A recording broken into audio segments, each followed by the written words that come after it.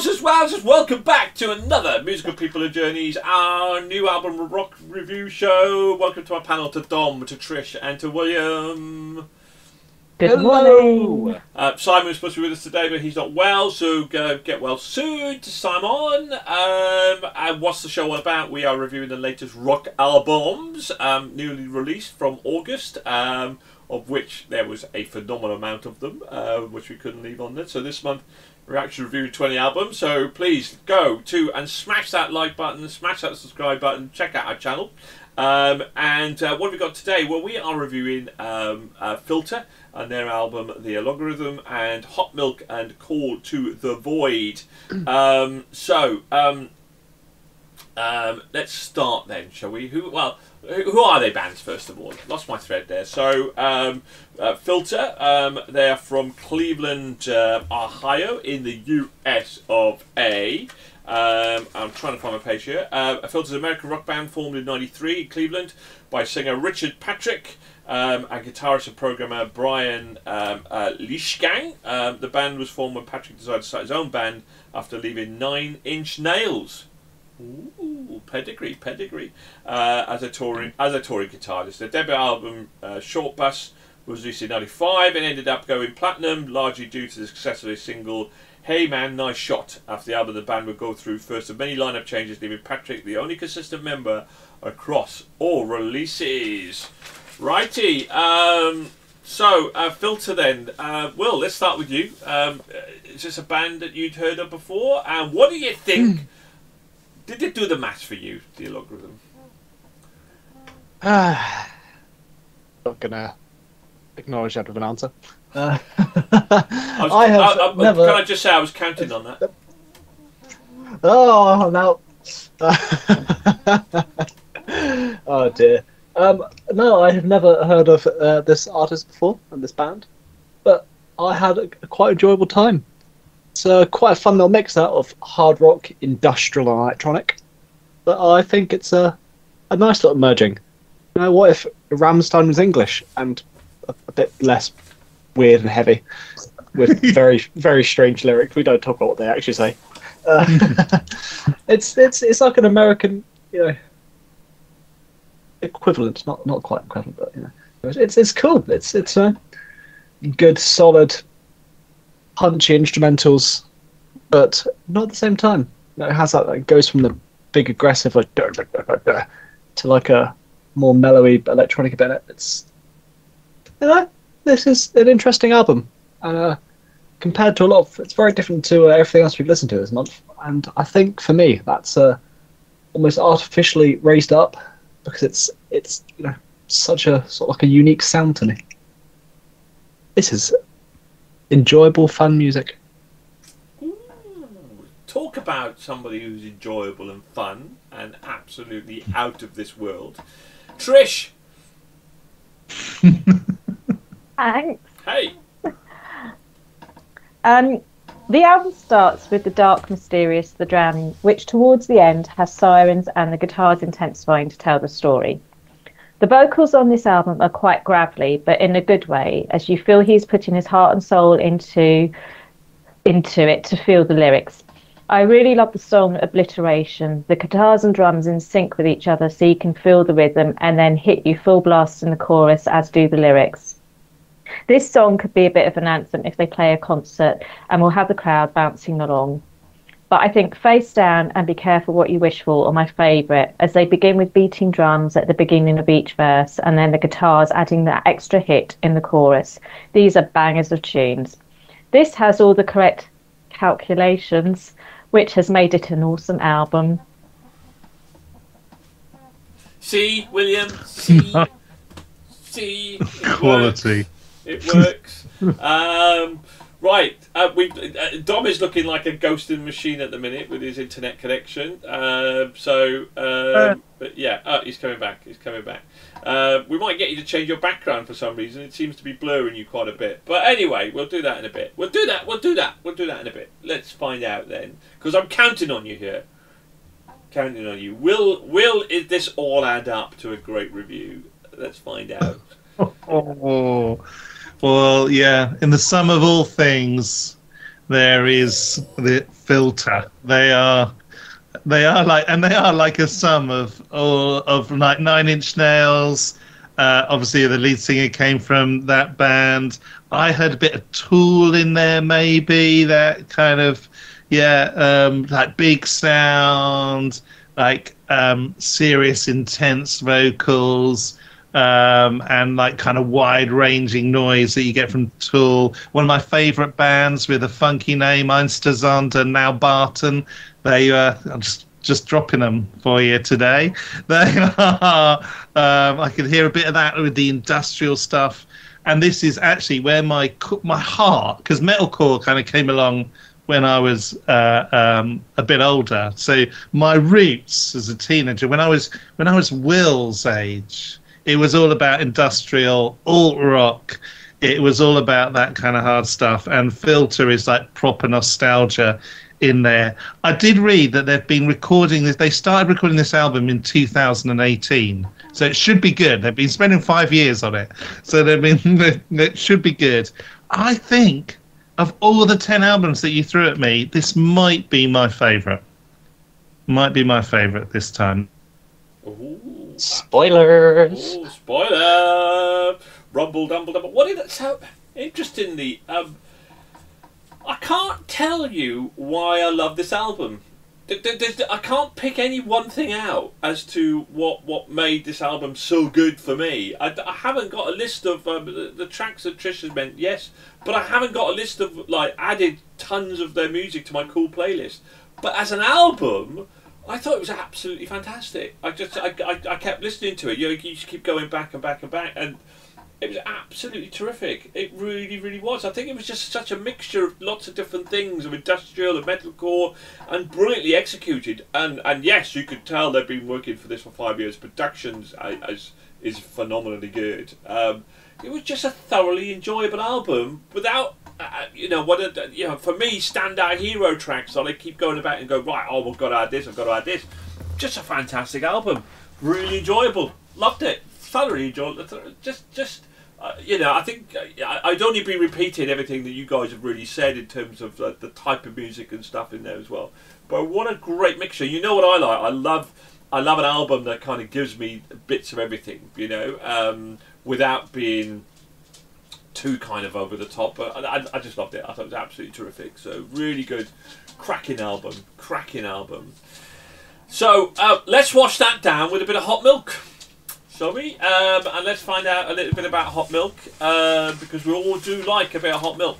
Let's face it. So uh, the album is called "Call to the Void." Um, now we seem we started the year predominantly based in Scandinavia, but we've circled back, and then we went a lot of bands for the US, but.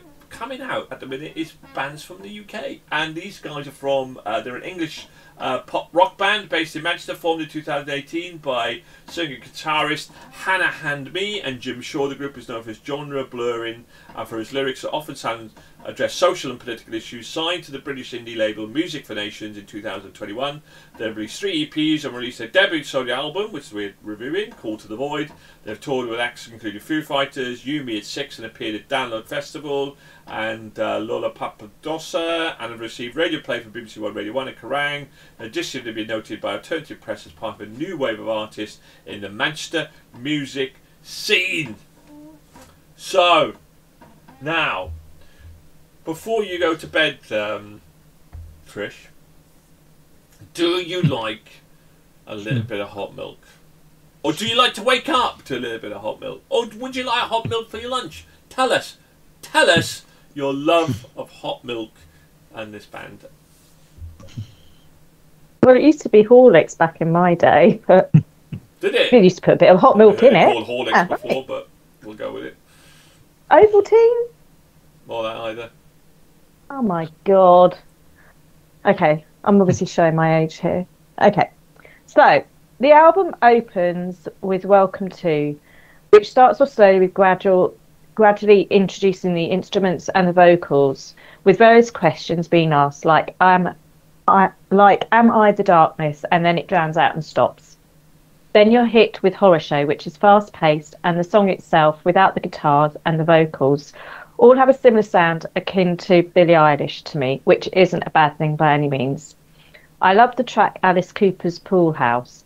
This song made me smile. This album is like hot milk. It hits all the right spots when you need it to. It's a relentless, full on fresh rock album to be enjoyed by everyone. Dom, did you enjoy it? Did you like a bit of hot milk? Do you like to sip some hot milk? or through a I straw? love Or... milk. However you want to give it to me, Nige, I'll take your hot milk anytime you want it.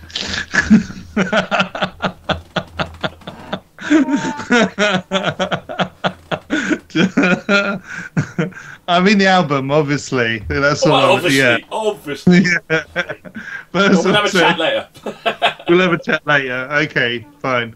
Um, yeah, this was great. I mean, the obvious comparison is Paramore, right? That's where uh, that's immediately where I went. You know, female singer. It's that emotional pop, um, emo pop kind of thing. Um, I thought it was great. Horror show, what amazing. Um, they take it places that Paramore don't, I think. Um, so there's some originality there. There's a bit of EDM dance music in there. Feels electro pop definitely. Um, and the energy was, yeah, I mean, it's Paramore energy taken on even further. I'd say this is their first album, right?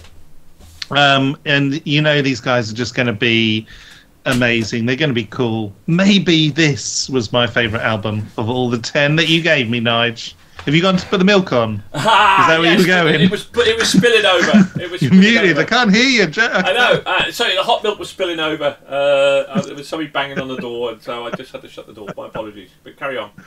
Oh dear. I heard every yeah. word.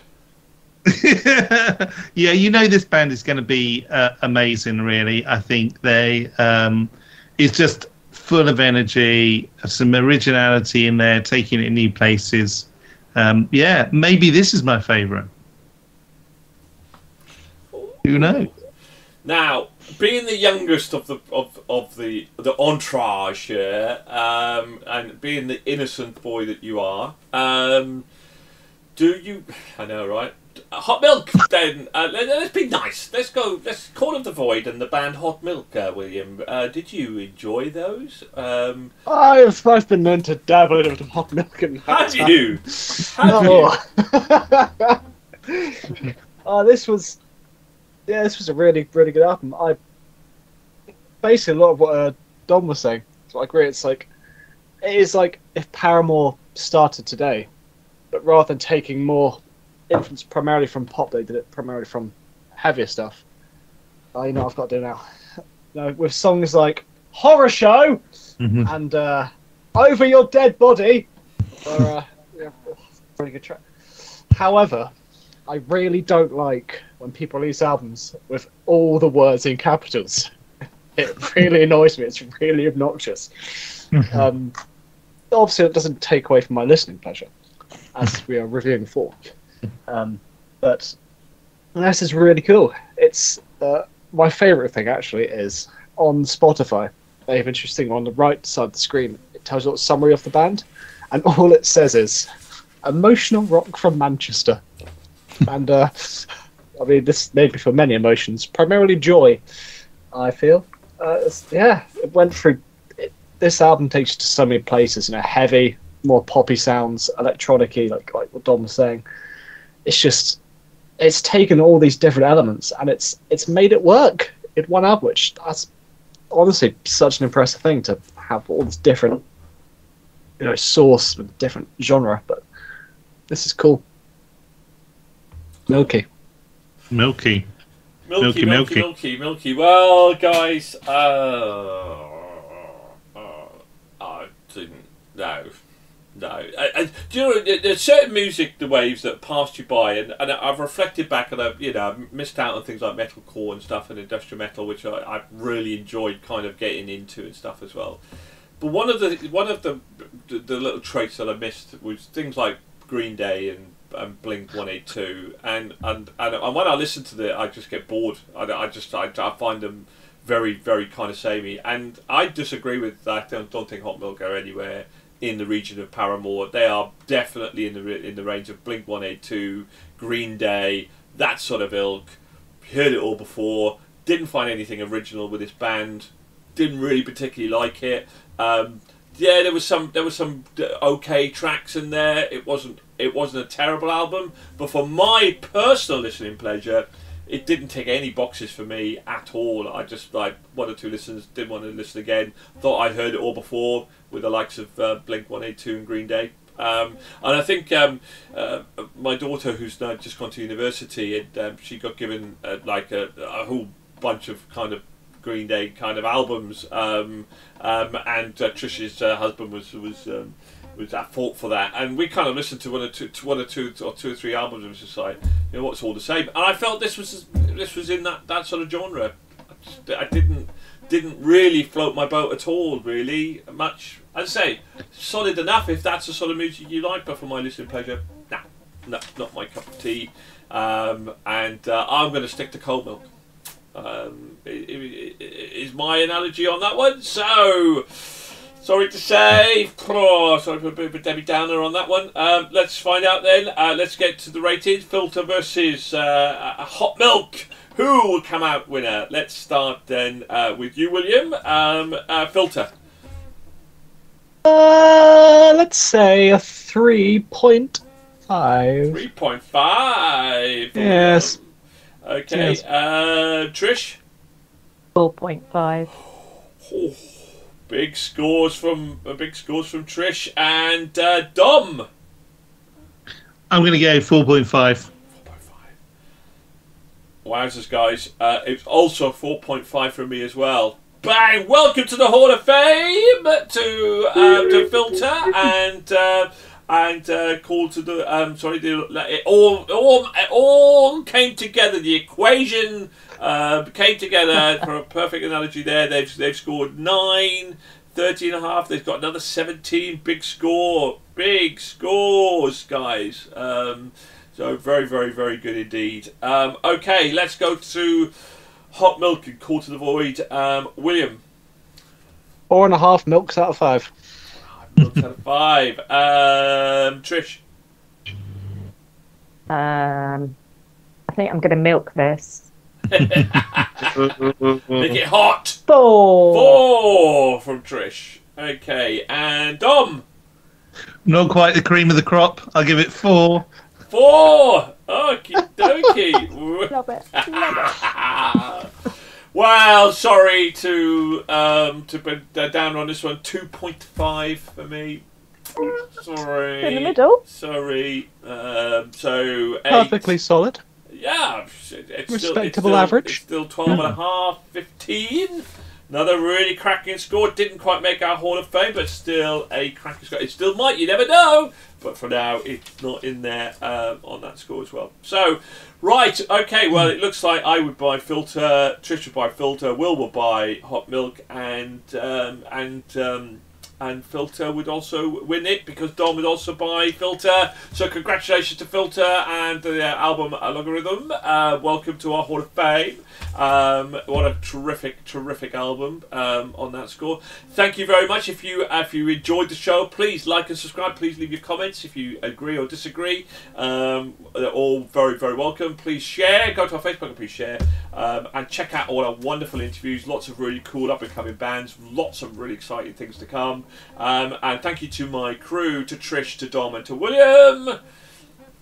Bye. Goodbye, everybody, and thanks for listening and thanks for joining. And uh, with cliche out of hell, because we know we like a bit of cliches. Uh, keep on rocking. On rockin'.